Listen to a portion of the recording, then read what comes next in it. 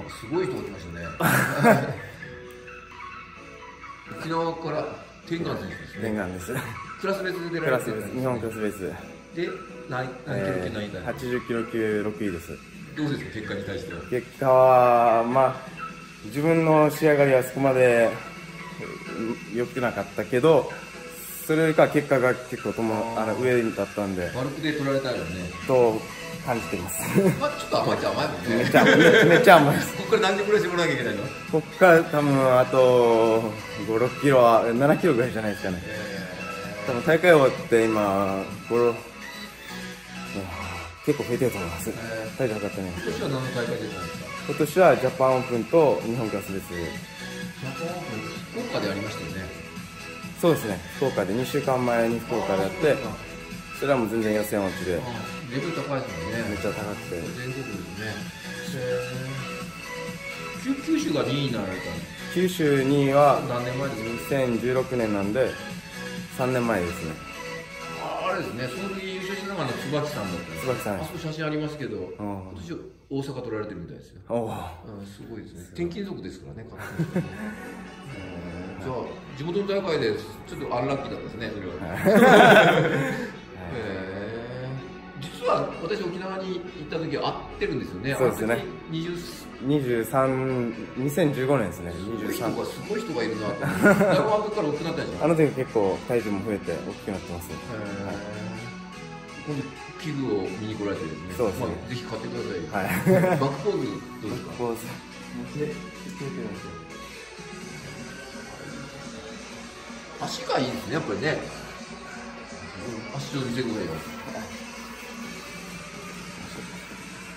足自慢なんですよやっぱり足は一応ポイントポイントないですかはい足は結構あ何トレーニングやってるんですか足は大体もスクワットとレッグプレスをメインにヘビーでやってますなナローナローでななるほどナローの何キログラムですかナローでですか、ナローだったら200で一応セット積んだり下まで落とさない下まで落落ちないいなですね落としすぎたらもう逆にもうストーキング逃げるんでるほどなるなんであんまりスクワットもスルーではやらないようにしてますああなるほどストーリーやストーキングあんまり効かなくなるんで。半分は何やるんですか？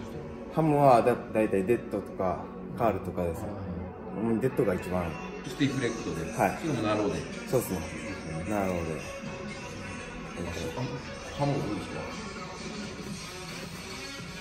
そうだね。今日は早速背中の日でトレーニングされるんです昨日もしたんですかトレーニング昨日ちょっと胸だけやりました。ちょっとやってもらおうか？なこのマシン気に入ってくれてありがとうございます。これ角度がいいでしょ？これがめっちゃいいですあとこの動くところはね。動くところいいいやこれはマニアは絶対わかりますよね。角度がラ横から来ますからね。これ宣伝になりますね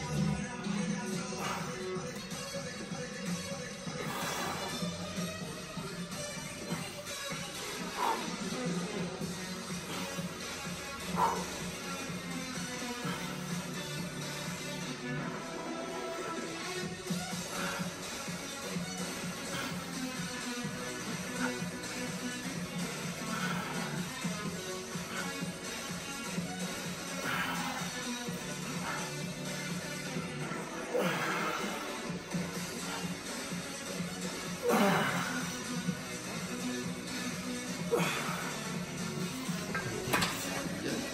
これでバックボール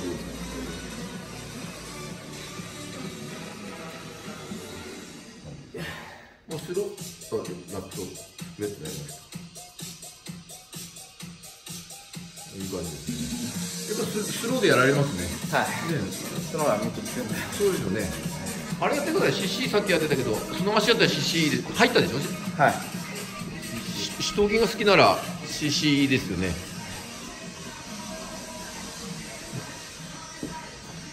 あ重りをねうちのねささすが掴みますね。初めてやられるっていう。ことで足がすごくいいですからこれこいうふうにやってもらったらいいですね。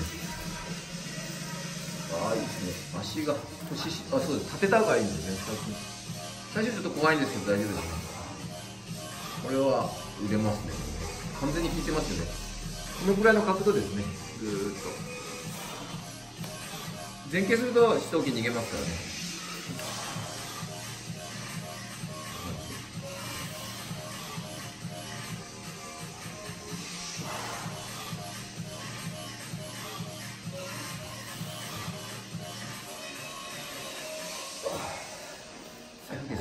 もう掴みましたね。最初怖がってたけど、はい。そんな感じですね。立てた方が効くでしょ。きますもし四頭筋狙いのスクワットの時はやっぱりあんまり前傾しないようにするんですそう。あそうですねまあでもなるほどだったら前傾するよね。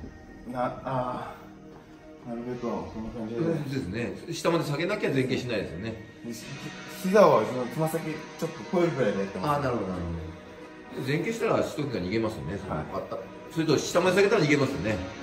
大体もう膝の動きで。あだからみんなこここ膝が前に出ないようにって教えいるんですけど。あそしたら全然四頭筋来ないから。ないからですね。